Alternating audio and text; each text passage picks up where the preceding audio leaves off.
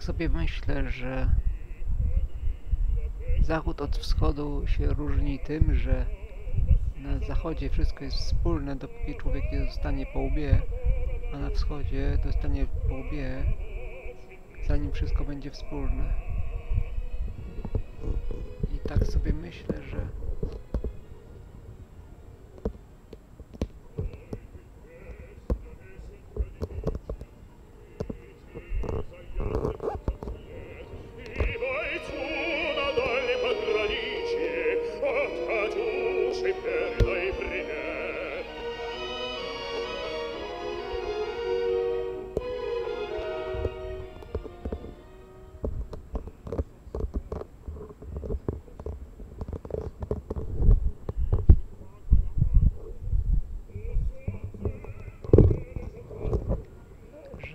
prostu trzeba trzymać z sąsiadami.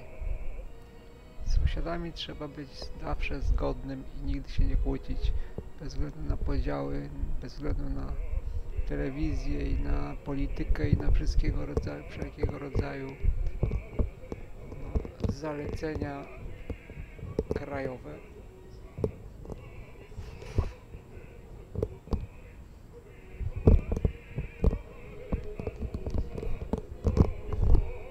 Więc ktokolwiek to tylko wschód.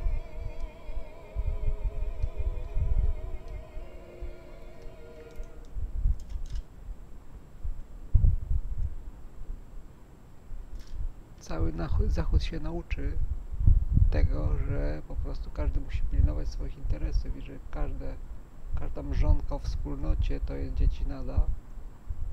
Trzeba trzeba się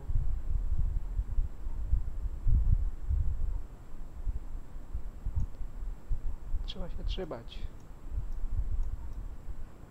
Trzymajcie się.